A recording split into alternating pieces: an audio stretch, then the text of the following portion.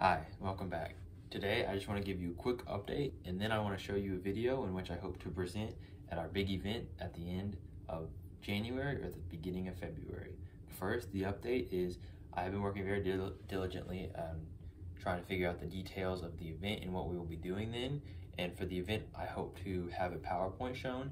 I hope to have an activity and I hope to have some healthy foods and demonstrations of what are some examples of good things to eat and obviously a physical activity at the end of the event is what I hope to achieve at this whole thing. I have for the event I have created a power I have created I have started on a PowerPoint and I have also created a flyer in which I hope to send out as soon as I get the debts the date set in stone for sure and have it booked up.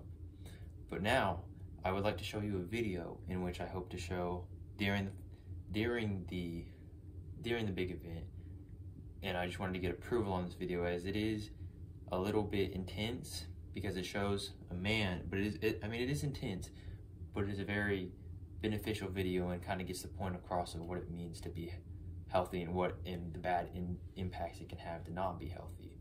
Um, just for a quick, uh, the video for for a quick like little summary of the video is the video does start backwards about a man his bad eating habits all the way going down back to his birth and where it, as a kid and where it all started. So I'll play that video for you now, and I hope you enjoy.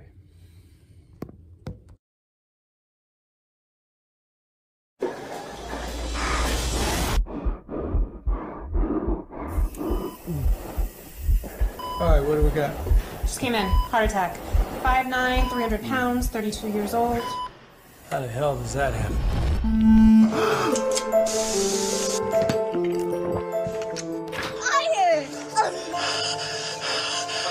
Can I get a, uh... Could be developing diabetes. You have to exchange.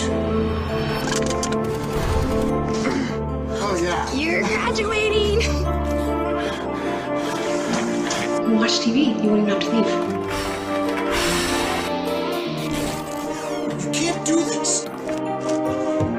Yes, can I get a... Yeah, no, uh, deep dish? You have to make a change.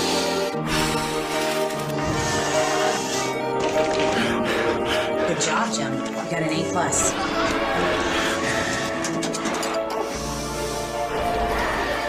are your fries, sweetie.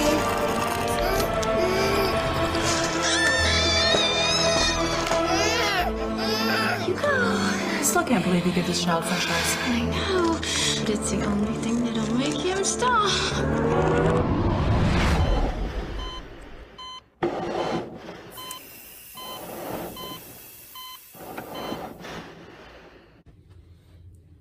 Hope you found that video very informative and educational. Although it is a very intense video, it does, I do feel that it gets the message across and will help get the message across that me and my colleagues Wesley and Fareed are trying to get a point to these young groups, these young kids.